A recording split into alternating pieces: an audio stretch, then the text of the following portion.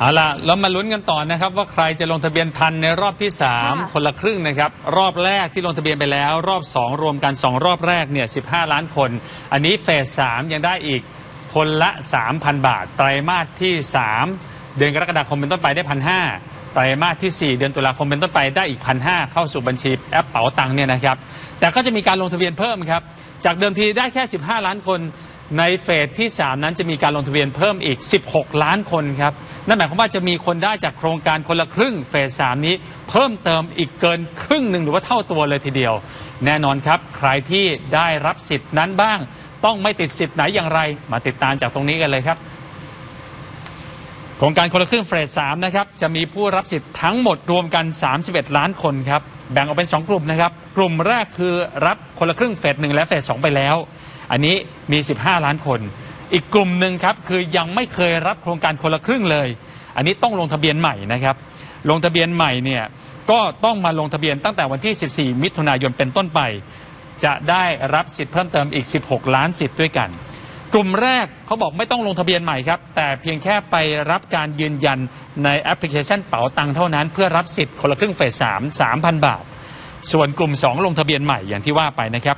กลุ่มที่ 2 ถามว่าใครได้บ้าง เอาล่ะมาฟังตรงนี้ดีๆครับ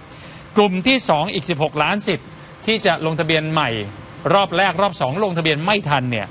หนึ่งคือต้องเป็นประชาชนและเป็นบุคคลสัญชาติไทยครับสองคือมีอายุตั้งแต่ 18 ปีขึ้นไป นับตั้งแต่วันลงทะเบียน นั่นหมายความว่าใครที่ถึงวันที่ 13 มิถุนายน แล้วแฮปปี้เบิร์ a เดย์18 ปีพอดิบพอดีครับวันที่ 14 ลงทะเบียนได้ แต่ใครที่อายุ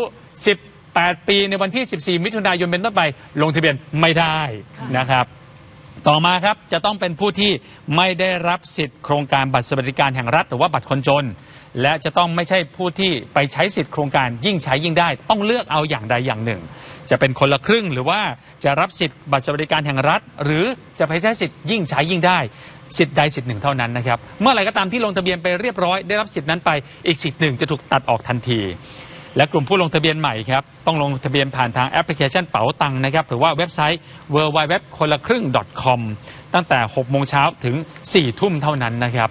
เห็นไหมฮะว่าวันที่ 14 มิถุนายนเลยถือว่าเป็นวันสำคัญเลย ใครที่เกิดก่อน 14 มิถุนายน อายุครบ 18 ปีขึ้นไป มีสิทธิ์นะครับ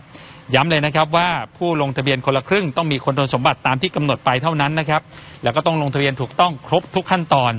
ลงทะเบียนเรียบร้อยครับ เงินจะเข้าสู่บัญชีแอปเป๋าตังค์ของคุณที่ลงทะเบียนไว้ 3,000 บาทครับ ก็ใช้ใน 2 ช่วงนะครับ ช่วงแรกคือเดือนกรกฎาคมถึงกันยายน 1,500 บาท และช่วงที่ 2 อย่างที่บอกครับ ไตรมาสสุดท้าย คือไตรมาสที่ 4 เนี่ย ตุลาถึงธันวาคม เนี่ย อีก